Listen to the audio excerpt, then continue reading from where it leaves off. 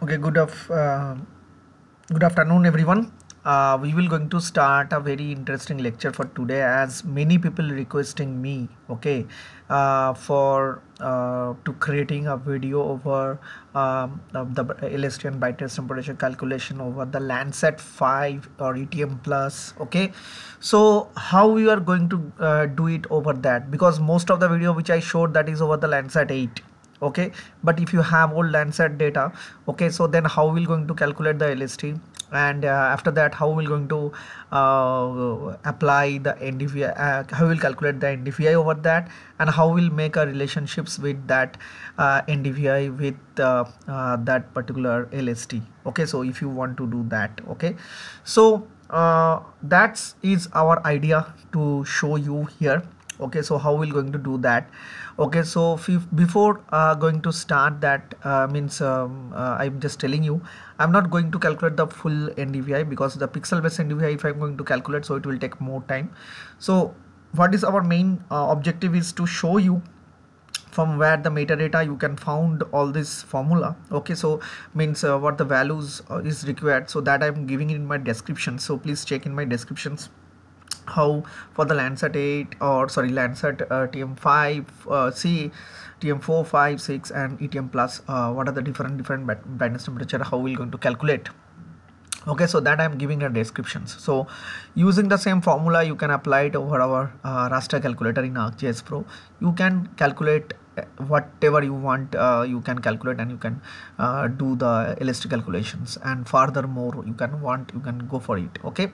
So here you see this is a part of our Bangalore uh, city. Okay? So means uh, the that Landsat TM ETM plus. Okay? So you just see here LE okay? So that I have here okay? So first i just uh, zooming in in the ground truth area whatever i have the ground truth so i'm just going to open that much area. So as of now i'm just switching off that. So this is a uh, you can see this is the what, what one of the image i have. So that is uh, ETM plus. Okay? So uh, uh, Landsat ETM plus. So band 6 we are actually taking considerations for uh, this particular analysis okay? So if you know that uh, ETM, ETM band, band 6 is basically giving you the thermal band okay? So which where you can going to calculate all the surface temperature and all the things okay?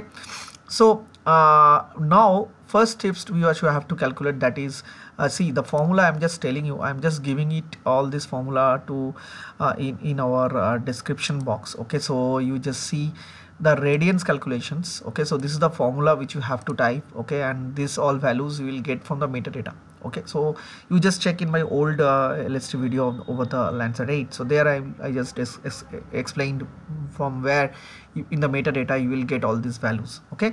So the formula you just need to apply it for radiance is this. So I just make it in a very short so that you can directly apply this uh, calculations for your work okay? So and this this is the uh, inverse Planck's law calculations for the brightness temperature okay? So that you can apply it for the Landsat uh, 5 uh, 6 conversion formula is giving it here okay? So this is the formula for the Landsat TM5 this is for Landsat 7 okay? Conversion formula okay? And uh, here which we are going to use that is the ETM plus okay? And uh, this will be the formula for the ETM plus okay? So how we'll see here what you have to change it for the brightness temperature is the constant value okay? So this constant value uh, for uh, ETM plus 4 and 5 I given in a one side one place okay? So that it will be easier for you to come to make and conversions okay? Now the question is how we are going to apply this over that particular area? So I will not taking consideration of this particular big area so then it will be take more time. So ArcGIS Pro we have a very very very easy process to do any kind of subsetting process okay? So you just see here very easily we can subset it. So I can simply go over uh, here in the process I'm simply clipping that particular area. So what whatever the area I just want I just clipping it to it okay? So same same thing we can apply it for this image also that is the multispectral image. Okay so this is be required for your NDVI calculations. Okay so you can go in the same process and you simply uh, clip it down. And you just see here. So this is also going to clip. So now this is to the final image which we will going to uh, use for our purpose and rest we will going to remove from our window. So this I removed and I also removed this one. So now very first work which we're going to do that is over this one this is our radiance uh, clip image okay? So now the question is how we're going to implement this formula? So this is the formula okay? So i'm just simply copy this formula for the radiance suppose okay? So these values also you can get under the metadata but as of now i having it this okay? So that's why i'm just going to simply running over that okay? So just you can go here suppose okay and uh, under the toolbox okay we have uh, this tool. Uh, okay so under the spatial analysis tool you see under the spatial analysis you have uh, this is called map algebra so I, I never showed you before how to use this map algebra okay uh, before in, in any of my lecture. So now i'm going to show you that okay. So that is our main focus okay. Uh, my main focus is not only that showing you of the uh, lsttm 4 5 6 and ETM 7 so no matter you are using what kind of satellites okay. So you should know what should be the constant value and what should the formula. And any formula you can run over this okay. So that's um, that is my main focus how we're going to calculate it okay? It is not maybe we'll found i'm just taking radiance value directly from this okay? But uh, it is our just main focus is to teach you how to calculate this type of band calculations okay? So if you just see here raster calculator if i just use okay? So here i have two one okay? So this is one first one this is multispectral one okay? So for this particular formula i'm just going to paste that particular whatever i have. So i'm just simply paste it so next important thing is this is you have to replace. Okay? So you have to calculate the radiance okay? So i'm just simply remove it and i will double click over these particular things. So this is my so just double click on this again. Okay? And you just sorry sorry very sorry. Uh, I'm just removing it again so that uh, we can go for it. So you just see here I will just put the formula here, here again and I need to calculate means calculate means I need to give that. Here I have to need the DN value of this particular image. So this you have to uh, this is your image. So this is the now it is right. Okay? So you just see here but thing is there is a two inverted comma. So you just remove one and you can remove it from here also one. Okay? So now the formula will be fine. Okay? You just see here this will be fine now. Okay? So i hope it will be fine. Hmm, yes. The formula will be fine now. So now I, if i want to calculate it so i'm just simply click on the run. So wherever you want to save you can give a name. Suppose I'm giving a name as a uh, radiance already that this is 1999 image. Okay so the radiance 1999 image. So I'm just calculating it. I will simply click on run okay so see here now it will take few minutes time for the run and you will get the value between 6 to 13 so that is a, in general you can get uh, the radiance value. If you see this is this is a top layer this is a top layer only okay? Is a top layer of the radiance. So if you click on this you the check the value. So your value should come in 8 to uh, 9 to 8 to 14 in between of 8 to 14 that how radiance value is actually coming okay now the next steps is uh, if you want to calculate the brightness temperature over it okay? So then how will do that? So simple thing uh, you just need to go back to the raster calculator again okay? And in this case now you see uh, no matter you can take any of the formula okay? But here i'm using this um, ETM plus band okay? So you can go for with this formula okay so this is one steps. Uh, I will give it in the description box so you can use other formula for the other satellites. Okay so now I'm just going to simply paste it. Okay and here you see the radiance 999 it was I'm just going to change why because this one I need to give input. Okay so let's double click on this. Uh, I don't think it will take in. So again I'm just removing it. Okay and this is the objective. And here. Yeah now it's came. Okay so you just remove one more inverted comma inside that. Okay so now it will be fine. So you just see once uh, it will be fine then this upper one there is a cross arrow is coming. So that means it's, it was wrong earlier. So that is also removed.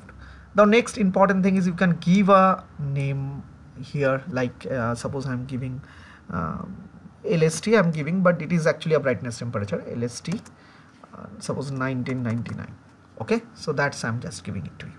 So here if you just uh, run this so you will see you will find the brightness temperature over there so in some some case of particular range okay? So from uh, 250 to 70 it is a summertime image okay? So obviously so it will be you are getting a very high temperature in near to that particular area. It's a bangalore city okay? So that is uh, uh, how the values are coming nearby okay? So that is the a way of how we are actually going to uh, apply it. So if you want to uh, calculate it uh, like uh, means sorry not calculate you can give uh, some kind of range over this. So then uh, it will be something looking like that. Okay? So it's a 1999 even that time growth was not like that. Okay?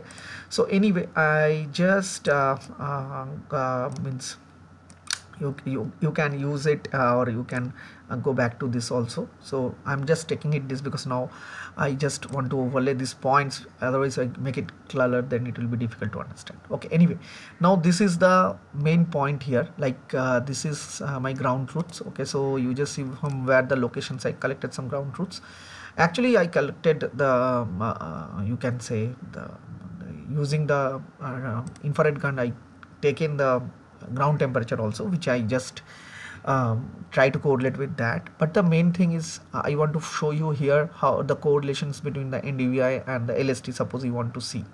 Okay so then uh, in this case you can use that multi-purpose tool that we we, uh, we already showed you uh, extract multi-value tools which we showed you in the last lecture. So the same tool you can use it here also to showing this particular correlation. So okay. So how this tool will going to extract these two value okay but before uh, this value means one is this LST another you want is as NDVI so NDVI is very easily you can calculate in ArcGIS Pro. So that's the beauty in ArcGIS Pro you know. Like if you click on this and if you go in this raster layer okay and uh, oh, not all raster layer so there's a imagery okay. So here also it will go and work in the automations. Like uh, if you click on this and click on this NDVI okay. So within a second the NDVI value is also generated and it will come to you. See this is the thing okay. So this is a very easily it, you can extract uh, this NDVI value within a second within a second. Okay. So that's the beauty. Uh, now you have this two layer. So I want this two layer value wherever I have collected the ground truth. So that should come in a same place so that I can make it a correlationships. Okay. So uh, if you just see here uh, we are going to use this tool that is called uh, where is it? So I will go to this our uh, analysis tab okay and then toolbox. Okay so you can go in favorites and uh, extract multi multi value multi value to points. Okay so uh, here you just see you need to give input uh, features that is a ground data which I'm given. Now input raster. So wherever this two raster means LST and NDVI that two you want. So you just simply select uh, your that one like NDVI and then next one you have to select the LST 1999 so that's two these two you need to select that's all. Okay so now if you click on the run so what will happen? This ground data okay so wherever this ground data sets will be there now so with that ground data you will get the LST and your uh, NDVI value in the same place. So without going in Excel here you just see simply you we are actually getting these two value together okay so you just see here. We just getting this two value together. Okay so uh, that is the beauty of this particular uh, things uh, this is the beauty of this particular uh, thing is how we nicely extracted these two. Okay so uh, now our main focus is as we as we see that we want to see the relationships uh, between this NDVI and LST and you see we can very nicely uh, show that thing. Okay so and you you can you need not to go to the Excel. Means earlier times we used to calculate it. We have to take the value uh, we zoom it in that particular pixels. Then we have to see the that particular pixels value. You have to note down in the excels. And then we have to do it. That's this code relationships so it's a very time taking job. Now we all can do it in a very fast way. You just see here. If you go here simply go to the chart okay and you can click on this scatter plot okay? And here you can simply uh, give your uh, I think uh, this one is your NDVI okay? And this one is your uh, LST value okay? So you just see here okay? That relationships you can find in a very nice way okay? There is a negative relationship for all we know. There is a negative relationship always come with the NDVI to lst so somehow the values are coming nearby. Okay? So that's all uh, from this uh, particular lecture which is mainly uh, trying to show you here how you can use the old Landsat images like ETM plus, uh, TM5 if you want to go for the calculations okay? So how we're going to calculate it okay? So try to find out the formula okay and using the raster calculator you can go with the formula. Okay and the same way which i just calculated you. And then uh, if you want to uh, see and do the analysis with the ndvi okay and correlations you want to find.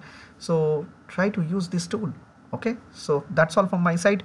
So i hope you like this lecture. So if you like this lecture please subscribe my channel and give your comments. And uh, this is the one of the request uh, means one of the uh, one of the students from anywhere in the world I've been telling his name but yes he requested me this. So uh, I try from my best okay? So how to show it how how you can do it okay? So uh, if there is any any kind of issue I know I got many many mails so many mails but all mails is not possible for me to reply.